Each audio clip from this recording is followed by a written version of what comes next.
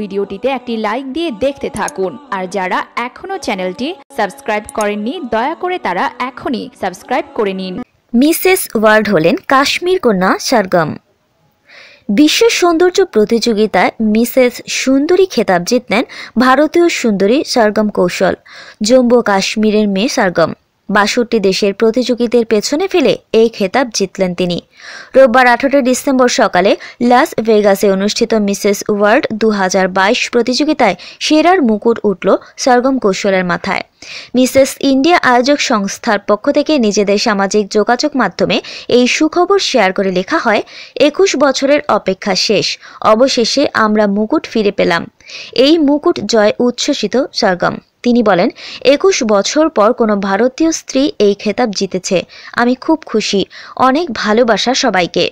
জানা যায়, ইংরেজি সাহিত্যে স্নাতকোত্তর ডিগ্রি রয়েছে সরগমের। আগে ভাইজেকে শিক্ষিকা হিসেবে কাজ করেছেন সরগম। তার স্বামী ভারতীয় নৌবাহিনীতে কর্মরত। প্রসঙ্গত, বিবাহিতদের নিয়ে আয়োজিত সৌন্দর্য প্রতিযোগিতা মিসেস ওয়ার্ল্ড উনিশশো চুরাশি সালে শুরু হয়েছিল এই প্রতিযোগিতা। শুরুতে এর নাম ছিল Mrs women of the world. দীর্ঘ চার দশকে মাত্র একবারই ভারতের ঝুলিতে এই খেতাব এসেছে। দু হাজার এক সালে ডক্টর অদিতি গোভিত্রিকার মাথায় উঠেছিল এই মুকুট। এবার নিয়ে দ্বিতীয়বার এই মুকুট গেল ভারতে। এরকম আরও অনেক ভিডিও পেতে নিউজ এক্সপোজার টিভির সাথেই থাকুন, চ্যানেলটি সাবস্ক্রাইব করুন এবং সাথে বেল আইকনটি বাজিয়ে দিন।